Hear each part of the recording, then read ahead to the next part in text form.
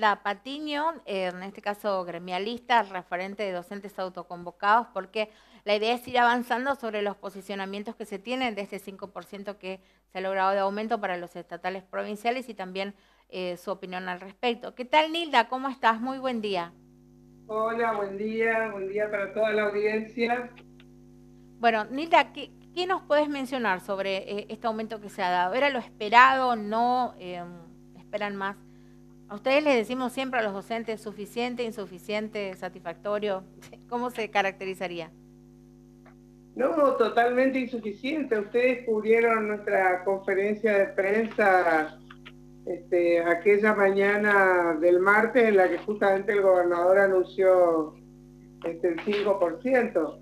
Nosotros estábamos pidiendo aumento y ya nos adelantábamos diciendo que no nos vengan con un 5% como la última vez, y este, a querer conformarnos, ¿no? Y bueno, así que fue lamentablemente lo que, lo que sucedió. O sea, un 5% sobre un salario este, muy pobre como el salario docente, porque hay que decirlo.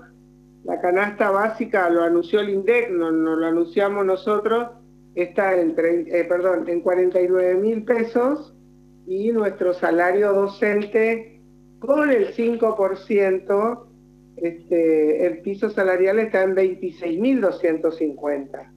Y si encima yo tomo en consideración lo que es la suma en blanco y la suma en negro, 14.180 en blanco y 12.000 en, en negro.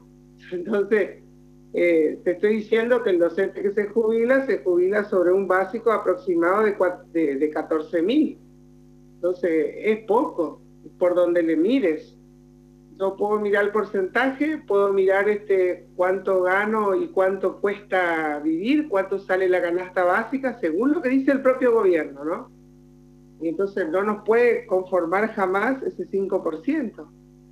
Así que nosotros estamos disconformes, es, es un tiempo difícil para, para, nosotros siempre el fin de año, agobiados de tareas, este año mucho más, porque se nos dijo inicialmente que no había que evaluar, perdón, no había que calificar, que solamente había que evaluar el proceso, porque se entendía que no todos los alumnos tenían acceso a, la virtualidad.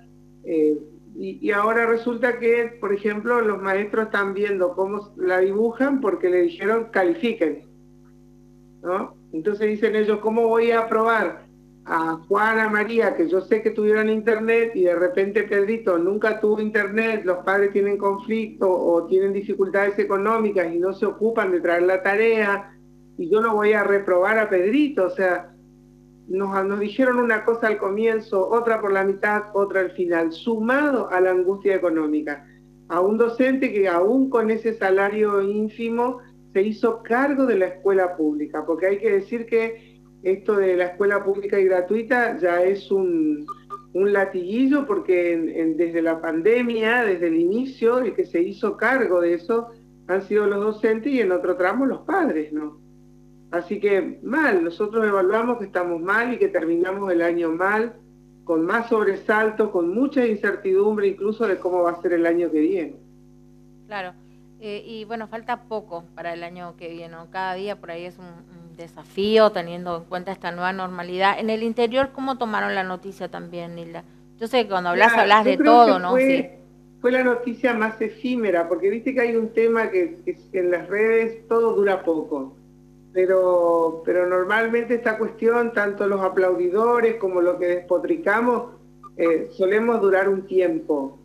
Creo que lo del aumento, si llevó un día en las redes, menos, creo yo, ¿no? Primero que muy pocos fueron los que salieron a decir que grande y aplausos, porque la cara de los propios dirigentes sindicales ese día cuando el gobernador anunció decía mucho, y creo que un colega tuyo le pregunta qué piensan ellos y el gobernador dice seguramente no le gustan, pero le tiene que gustar.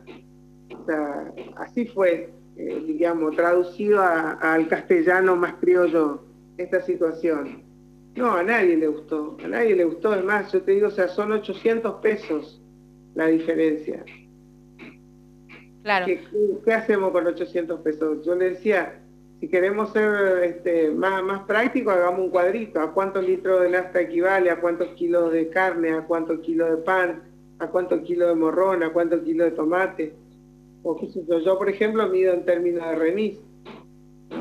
¿Cuántos viajes de remis de mi casa al gremio? Cuatro viajes. Claro, y Nilda, te, te consulto, ¿qué evalúan hacer? Eh, ¿Hay algún tipo de plan de acción? Que, ¿Cómo van a manejar la situación? ¿O esperan? Mira, nosotros estamos conversando qué se puede hacer.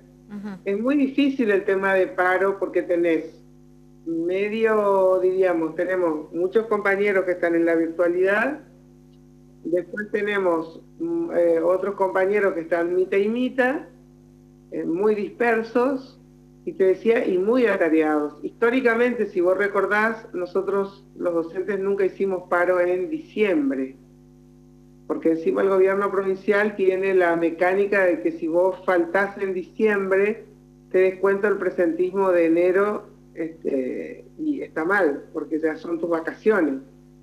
No te puedo descontar enero, pero lo hace y entonces, bueno, los compañeros cuidan todos los pesos y dice que me descuenten encima y esté mal y ponerme a reclamar otras cosas, así que yo diciembre no creo que pueda salir un paro. Nosotros lo que estamos conversando es qué más podemos hacer en este pedazo de noviembre que nos queda y si, si hubiera alguna acción en diciembre, que obviamente no será paro, pero alguna acción este, podemos llegar a hacerla. Se, está evaluando, estamos hablando. Nosotros además como gremio estamos muy preocupados porque si siempre nos quejábamos de los atrasos en los trámites, ellos han aprovechado la pandemia y pusieron en cuarentena todos los expedientes que no les gusta, obviamente, ¿no?